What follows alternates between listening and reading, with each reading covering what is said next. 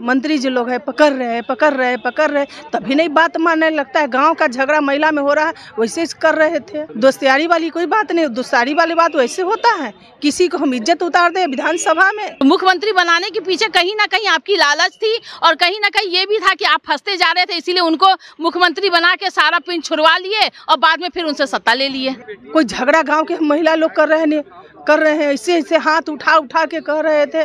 महिलाओं को कह रहे थे चुप रहो तुम चुप रहो तुम चुप रहो। महिलाओं के साथ भी इस तरह महिलाओं के साथ भी बोल रहे थे। मुख्यमंत्री माफ़ी मांगे तेजस्वी यादव माफ़ी मांगे जब तक माफ़ी इस्तीफा दे। माफ़ी दो इस्तीफा दे।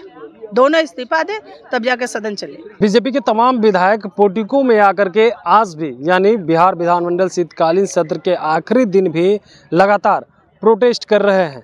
जैसे ही सत्र शुरू हुआ, उसके कुछ ही देर बाद तमाम बीजेपी के विधायक बाहर निकल गए। उसके कुछ देर बाद जो है, आरजेडी के विधायक भी बाहर निकले। उसके बाद जो है, लड्डू बांटने लगे। इसी बीच जो है, बीजेपी और आरजेडी के विधायक के बीच जो है, झड़प हो जाती।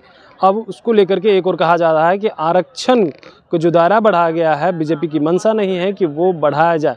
लेकिन जिस तरह से जो है, सदन सही ढंग से नहीं चल रहा है, इस पर बात करेंगे। बीजेपी के जो तमाम महिला विधायक हैं, वो क्या कुछ कह रही? सदन नहीं चलने दे रहे हैं, लगातार जो है विरोध कर रहे हैं। आप देख रहे हैं, बिहार सरकार की बिहार का नीतियाँ क्या है? महिलाएँ महिला के ऊपर सबको टिप्पणी उठाना अच्छी बात नहीं है।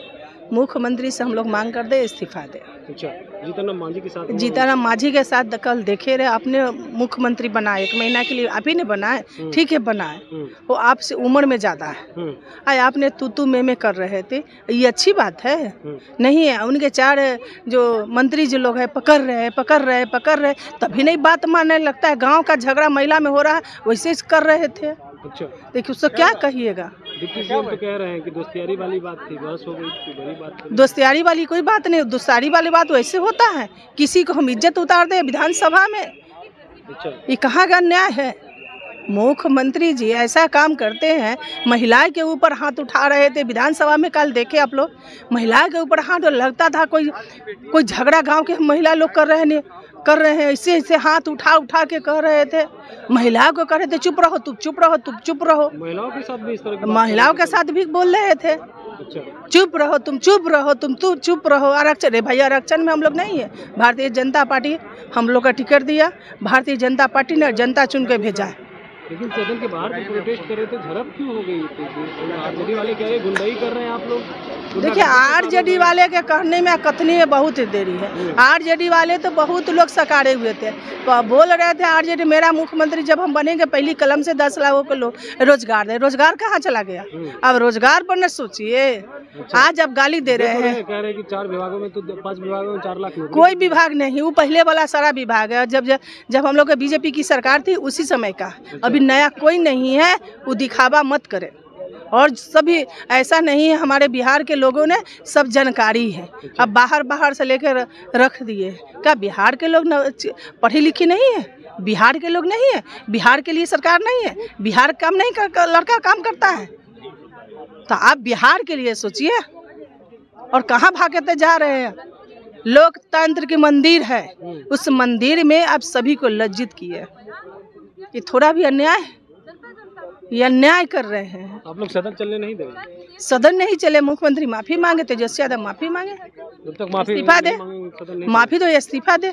दोनों इस्तीफा दे तब जाकर सदन चले। क्या कहेंगे कल जो है अशोक चौधरी आ जाते हैं और उसको डिफाइन करने लगते हैं कि पुस्तकों में जब लिखी हुई है सदन के अंदर चल गई बात तो क्या हो गया? देखिए कुछ बातें पुस्तकें में भी अच्छी लगती हैं और सदन में वो बातें नहीं बोलनी चाहिए जो जिनसे हम लोग को बुरा लगे। आखिर वो हमारे पूर्व के मुख्यमंत्री रहे और उनके बारे में आप बोलते हैं कि आपको मुख्यमंत्री कौन बनाया? तो उस पर भी हम तो आप बोल रहे हैं वो तो और गंदे लिहाज में बोले थे कि मुख्यमंत्री कौन बनाया? हम मूर्ख थे जो मुख्यमंत्री बना दिए। पर ठीक है आप बना दिए पर क्यों बनाए ये तो बता दीजिए। आपकी क्या मंशा थी जो उनको आप मुख्यमंत्री बनाए थे? तो मुख्यमंत्री बनाने के पीछे कहीं ना कहीं आपकी लालच थी और कहीं ना कहीं ये भी था कि आप फंसते जा रहे थे इसीलिए उनको मुख्यमंत्री बना के सारा पिन छुड़वा लिए और बाद में फिर उनसे सत्ता ले लिए। दलित अपमान की आप लोग बात कर रहे हैं लेकिन वो लोग तो कह रहे हैं कि जब जो है मांझी जी मंदिर गए थे तो मंदिर धुलवा दिए थे आप लोगों ने। हम लोग ने कभी नहीं धुलवाया था हम कभी भी अपमान नहीं करते हैं। हम लोग हर तरीके के लोग के साथ हर संप्रदाय के लोगों के साथ खाते हैं बैठते हैं। नए संसद भवन का उद्घाटन हुआ तो दलित के यहाँ तो क्यों नहीं करवाया? राष्ट्रपति थी दलित। समाज से आती थी एस समाज से आती थी ऐसे हमारी मनसा हमेशा दलित का ऐसा कोई बात नहीं हमारे प्रधानमंत्री भी दलित का बहुत सम्मान करते हैं और हम लोग भी सारी बीजेपी पार्टी उनके सम्मान करते हैं नहीं तो राष्ट्रपति आज महादलित नहीं होती। उप मुख्यमंत्री जो है वो कह रहे हैं कि सीएम नीतीश कल जो है कोई अपमानित करने का ऐसा कोई शब्द ही नहीं बोला जो ये लोग कह रहे हैं। तो फिर ठीक है तो जिनको ऐसा लगता है कि वो कुछ वैसा बात नहीं किए हैं तो उनको फूलों का हार पहनाएँ उनको सम्मान दें और ऊपर से ऊपर और ऊँचा पद में लाएँ तो आपने सुना उनका कहना है कि देखिए सदन कैसे चलने देंगे, महिला का अपमान करेंगे और जो है दलित का अपमान करेंगे तो कैसे चलने देंगे? ये लोग जो है सबसे पहले इस्तीफा दें, माफ़ी मांगें, उसके बाद ही हम लोग सदन को चलने देंगे। पहले महिला को अपमानित किया, उसके बाद जो है अब दलित का अपमान करने का काम कर रहे हैं।